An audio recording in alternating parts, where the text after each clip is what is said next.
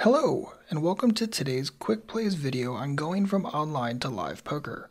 Whether you are looking to make a full time switch to live poker games or just looking to play live games from time to time, there are some notable changes between these two formats. In this video, I'm going to discuss some of the biggest things to be aware of to ensure your transition goes as smoothly as possible.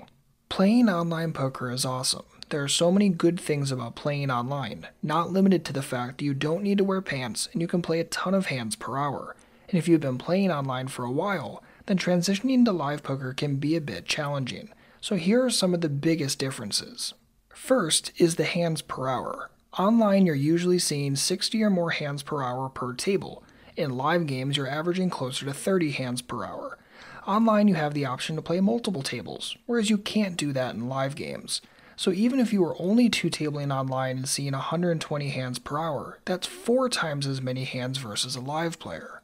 This creates quite a few differences, the biggest one being that it takes a huge chunk of time to gather a big sample size playing live poker.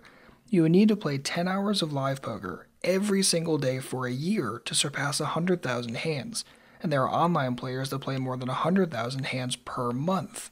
Very related to the hands per hour difference is boredom. If you're bored playing online, you can just open up another table or start a YouTube video on your other monitor. Playing live poker, on the other hand, is inherently very boring for online players. There are so few hands happening, and card dead stints can last for hours. I'd actually say that boredom is the biggest issue by far for players making this transition. And even more so if you play multiple tables of 6 max online. Going from 500 plus hands per hour to 30 hands per hour of live full ring is tough. You just need to find something to keep your brain sharp, eyes open, and tilt levels low. Many online players bring their headphones and listen to music or watch videos during the session. This isn't an awful idea, but is it optimal? This brings us to another difference between live and online poker information. With the help of software like Poker Tracker 4, you can use a HUD on most sites. A HUD gives you real time statistical information on the hands you played with each opponent. You then use this information to estimate ranges and frequencies. There is no such tool in live poker, so you are 100% forced to use your own memory. Online players can also store their hand histories and review them later, along with tracking their wins, losses, and stats. Live players are forced to write down any hands they want to review later, and record keeping is left to pen and paper or any number of poker apps that require you to input your data after each session. So earlier I asked if it was optimal to listen to music or glue your eyes to your device while playing live poker. Online you can do this and get your information automatically with your HUD. But in live poker, if you have your headphones on and distract yourself with your phone, you aren't collecting the information you may need for the times you are actually involved in a hand. Poker is a game of information, so gathering it is vital for your success. My goal when playing live is to turn information gathering into a game for myself, which in turn keeps my brain busy and minimizes my boredom. Another thing to be aware of in live games is what I call image management. This goes far beyond just giving tells away. Online, your only immediate image is your username and maybe a little picture. In live poker, players see your face, clothes, and the way you handle yourself physically.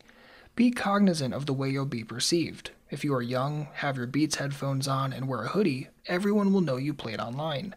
If you smile a lot and are quite social, people will be less intimidated by you, which can work in your favor. Going back to tells for a minute, this is a big difference that online and live players always debate. First, there is value in tells, so brushing up on what certain things mean can be helpful before playing live poker. Secondly, you do want to be aware of any tells you are giving off.